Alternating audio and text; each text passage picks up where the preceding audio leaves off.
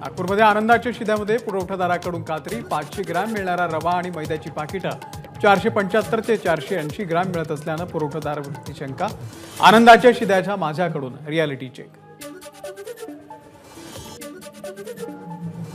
सरकारला अंगणवाडी सेविकांच्या प्रश्नांकडे लक्ष द्यायला वेळ नाही. सरकार विद्यार्थ्यांच्या पोषण आहारामधील टक्केवारी खाण्यामध्ये व्यस्त.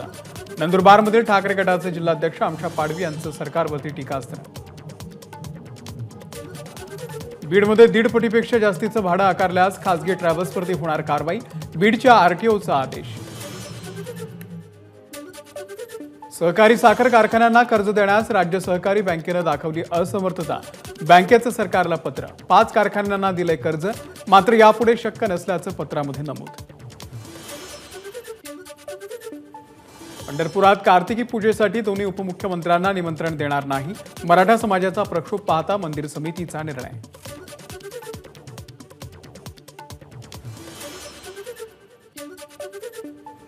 नाशिकच्या जिल्हाधिकारी कार्यालयामध्ये मराठा कुणबी संदर्भामध्ये नोंदी स्वतंत्र कक्षाची स्थापना अठराशे सत्त्याण्णव ते एकोणीसशे सदुसष्ट पर्यंतच्या कुणबी नोंदींची तपासणी. दोन दिवस तपासणी मोहीम सुरूच राहणार.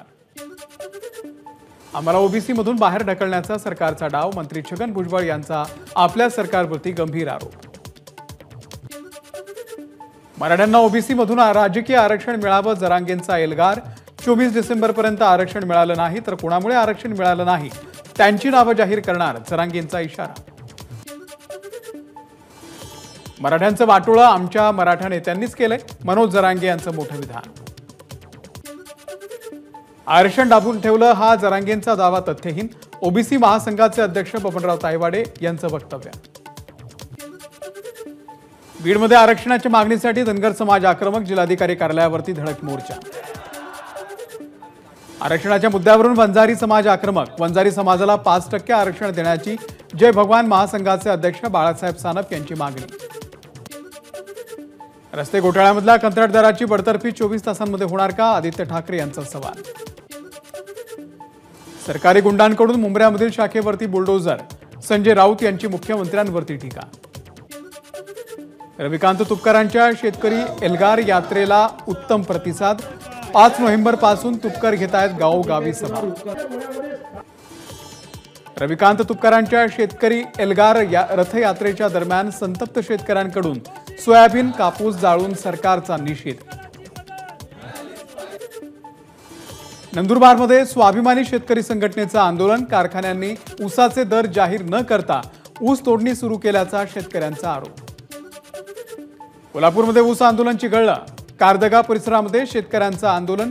सीमा भागातून महाराष्ट्रामध्ये येणारा ट्रॅक्टर अज्ञातांनी पेटवला. मुंबईच्या माजी महापौर किशोरी पेडणेकर ईडी चौकशीसाठी गैरहजर. त्यांच्या वकिलांनी चौकशीसाठी मागितला वेळ. पुणे जिल्हा बँकेच्या संचालकपदी रणजित तावरे यांची वर्णी. काही दिवसांपूर्वी अजित पवार यांच्याकडून संचालक पदाचा राजीनामा. राज्यात काही भागांमध्ये पावसाची शक्यता तर येत्या दोन दिवसांमध्ये ढगाळ वातावरण राहणार हवामान खात्याचा अंदाज.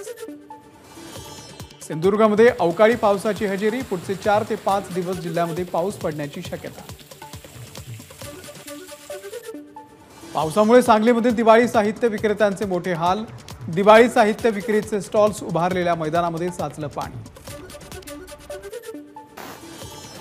सांगली जिल्ह्यातल्या पलूसमध्ये पहाटे मुसळधार पावसाची हजेरी. जत तालुक्यामधील उमदीमध्ये देखील पाऊस. सिंधुदुर्ग जिल्ह्यातील आंबोली घाटामध्ये ढगांची चादर. आंबोली घाटातील सूर्यास्त पॉईंटवरती खोल दरीमध्ये सर्वत्र दुकच धुका. कोल्हापूर जिल्ह्याच्या वारणा आणि पन्हाळा परिसरामध्ये देखील पावसाची हजेरी. पावसामुळे वातावरणामध्ये गारवा. कोल्हापूर जिल्ह्याच्या ग्रामीण भागामध्ये रिमझिम पावसाची हजेरी. राधानगरी भुदरगड तालुक्याला देखील रिमझिम पाऊस. भात पिकाच्या कापणीला पावसाचा फटका बसण्याची शक्यता. पंढरपूरच्या मंगळवेढा तालुक्यात देखील अवकाळी पावसाचं थैमान. काढणीला आलेला मका बाजरी या पिकांचं मोठं नुकसान. अवकाळी पावसामुळे पंढरपूरच्या कासेगावमधील द्राक्ष बागायतदार संकटात दवण्या आणि करप्या रोगाचा बागांवरती प्रादुर्भाव होण्याची शक्यता. दुष्काळ सदृश्य परिस्थितीचा सर्वाधिक फटका मोसंबीच्या बागांना. शेतकरी तोडू लागले मोसंबीच्या बागा. महाराष्ट्र राज्य वक्फ मंडळाच्या नवीन कार्यालयाचं उद्घाटन. मुख्यमंत्री एकनाथ शिंदे आणि फडणवीसांची उपस्थिती. नाशिकच्या चांदवडमध्ये कांद्याची केंद्रीय पथकाकडून पाहणी. कांद्याच्या दरामध्ये होत असलेल्या चढ उताराचा पथकाकडून आढावा. बागेश्वर धामचे महाराज धीरेंद्र कृष्ण शास्त्री यांनी आज घेतलं घृष्णेश्वराचं दर्शन. भद्रा मारुतीचंही घेतलं दर्शन. जायकवाडीसाठी पाणी सोडण्यास उच्च न्यायालयाकडून स्थगिती नाहीच नगर आणि नाशिक जिल्ह्यामधून पाणी सोडण्याच्या आदेशाला स्थगिती मिळावी यासाठी मुंबई उच्च न्यायालयामध्ये याचिका. उजनी कालव्यामधील जलसेतूच्या दुरुस्तीला आज रात्रीपासून होणार सुरुवात. एबीपी माझानं दाखवलेल्या बातमीची प्रशासनाकडून दखल. नागपूर जवळच्या बुटीबोरी विस्तारित एमआयडीसीमध्ये प्रस्तावित पेट्रोकेमिकल कॉम्प्लेक्स आणि आर्थिक आणि तांत्रिकदृष्ट्या व्यवहार्य. केंद्र सरकारच्या इंजिनियर्स इंडिया लिमिटेड कंपनीचा अहवाल. महादेव ॲप प्रकरणामध्ये सौरभ चंद्रकरच्या विरोधामध्ये माटुंगा पोलीस ठाण्यात गुन्हा दाखल. महादेव ॲपद्वारे पंधरा हजार कोटी रुपयांची फसवणूक. नंदुरबार जिल्ह्यातील वाण्या विहीर या गावामधील आदिवासी महिलांचा पर्यावरणपूरक व्यवसाय गायीच्या शेणापासून पणती धूपबत्ती आणि हवन गोऱ्यांची निर्मिती. गायत्री दीप महायज्ञ आणि राष्ट्रीय जनजागरण मंगल कलश यात्रा भंडाऱ्यामध्ये ठिकठिकाणी यात्रेचं उत्स्फूर्त स्वागत. यवतमाळच्या कळंबमध्ये रेल्वे ट्रॅकवरती औषध साठा आढळल्यानं खळबळ. या प्रकरणाची दखल घेऊन दोषींवरती कारवाई करावी आरोग्य विभागाची मागणी. पुण्यामध्ये अभिषेकी बुवांच्या स्मृतिदिनीच मत्स्यगंधाचा प्रयोग रद्द करण्याची वेळ शेजारच्या कार्यक्रमाच्या आवाजाच्या दणदणाटामुळे नाटकाचा प्रयोग रद्द. पश्चिम रेल्वेवरती वंदे भारत साधारण एक्सप्रेसची चाचणी चाचणीचा अहवाल लवकरच जाहीर करणार अधिकाऱ्यांची मागणी. माहिती. मुंबईमधून आरबीआयच्या कार्यालयाच्या बाहेर लांबच लांब रांगा दोन हजारांच्या नोटा बदलण्यासाठी नागरिकांची मोठी गर्दी. संगमनेर शहर पोलीस ठाण्याच्या कारागृहामधून चार कैद्यांचं पलायन. पहाटेच्या सुमाराची घटना बलात्कार खून असे गंभीर गुन्हे दाखल असलेले आरोपी कारागृहाचे गज तोडून फरार. पुण्यातल्या मंचरमध्ये दरोडा टाकून पळण्याच्या तयारीमध्ये असलेल्या पाच जणांना पोलिसांकडून अटक अठरा किलो चांदी दोन लाखांच्या रोकडसह पाच तोळे सोनं जप्त. दिवाळीच्या पार्श्वभूमीवर पालघरमध्ये अन्न आणि औषध प्रशासनाची राज ऑइल मिल्सवरती धडक कारवाई. कारवाईमध्ये एक्क्याण्णव लाखांपेक्षा अधिक किमतीचा तेल साठा जप्त. शिक्षकाकडे तक्रार केल्यानं एका विद्यार्थ्याला रॉडनं आणि काठीनं बेदम मारहाण सांगलीच्या आटपाडीमधील गुरुकुल निवासी वसतिगृहामधील घटना.